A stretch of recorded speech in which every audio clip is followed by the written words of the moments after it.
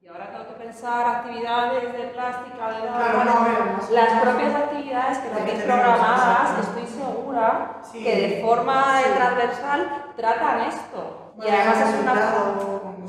Claro, y es una forma también para que los, los niños lo entiendan, ¿no? Porque hablamos de estos ODS, son 17, cada uno tiene un nombre, y es algo a veces que si los nombramos así como en una lista, los 17, con los nombres que tienen, es algo muy abstracto para ellos, ¿no? Y entonces, aterrizarlo en, en actividades en las que ellos eh, lo manipulen con la plástica, con el cuerpo, con, les hace entenderlo. Que por cierto no nos conoce. Jesús nos Andrea.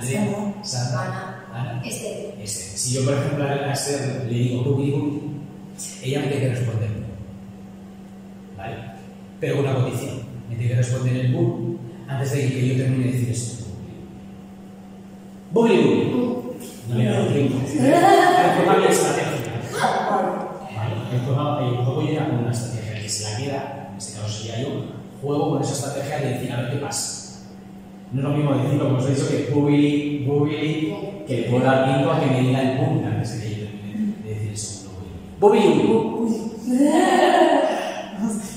Jugar también con esto, por ejemplo, esta contraseña, si en lugar de decirte bubili te digo boom, no puedes tener ningún tipo de reacción. Cuando yo digo ningún tipo de reacción es que ni puedo contestar bubili, bubili, que es la primera cosa que puedo decir, ni tampoco puedo tener una reacción corporal. ¿Vale? Luego os diré por qué. Entonces digo boom. ¿Ves? Pues ya en la reacción corporal.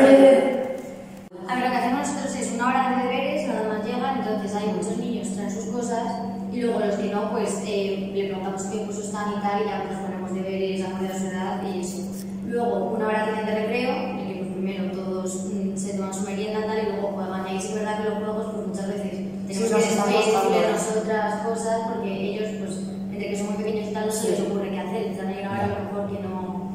Y luego ya es la última hora la de manualidades, que ahí pues lo que han dicho, la tratar que cada día buscando una manualidad distinta.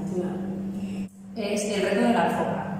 Yo llevo una, una tela, suelo llevar así como de racia o así para que, para que aguante, ¿no? Y entonces extiendo la, la alfombra en, en el aula y se tienen que subir todas las personas. ¿Cuál es el reto que tenemos? Es una alfombra mágica que está volando por el aire y como está muy sucia, para que siga funcionando tenemos que darle la, la vuelta. Pero tenemos que darle la vuelta sin bajarnos de ella. Porque si alguien se baja o si alguien inclusive saca un pie y lo apoya o una mano y tal, como vamos por el aire, Claro. nos caemos. O sea, es como si fuera un, un avión y si yo estoy así, aunque haga así, me, me. ¿Qué pasa? Que ahí no, no vale lo que yo haga. Ya vale. Tengo que relacionar Claro. Todos. Y, hay, y pasa, en- y, y- y no hay una única solución, porque te empiezan a preguntar, ¿y cómo se hace? Y como de hecho a mí aquí me pasó, que me dijo, y me dijo, lo voy a buscar en YouTube. Y le dije, no todas las respuestas están en, en Internet. Claro, digo, se lo tienes que contar a los compañeros Claro. y tienes que conseguir que te escuchen. Porque los que les pasaba y gestionan todo esto también, de la frustración, de. O sea, les pasaba esto de. Es que yo estoy hablando y es que